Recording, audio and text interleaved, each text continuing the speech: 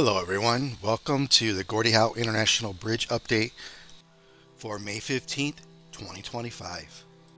And I got this video from today. And uh, let's ask ChatGPT GPT, what are the safety guidelines for construction workers that are working six feet or higher? For construction workers working at heights of six feet or higher, there are several key safety guidelines to follow. Number one, fall protection. Workers must use fall protection systems like guardrails, safety nets, or personal fall arrest systems to prevent falls.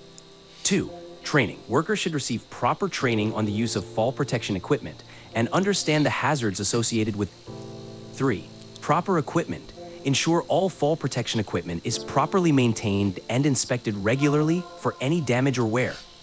4. Safe access. Provide safe access to and from elevated work areas, such as ladders, scaffolds, or aerial lifts. 5. Guardrails and toe boards. Install guardrails and toe boards on elevated platforms to prevent falls and objects from falling off. Following these guidelines helps ensure the safety and well-being of construction workers at heights. So they must have a full body harness on? Yes, exactly. For workers at heights of six feet or more, a full body harness is often required as part of fall protection.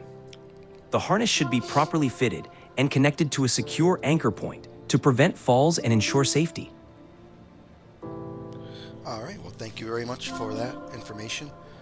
And um, as you can see here, they're installing the LED lights for their bridge and it's moving along pretty good. I have a lot of video coming up with uh, video of this installation so I'll upload that very soon. Enjoy the rest of this video.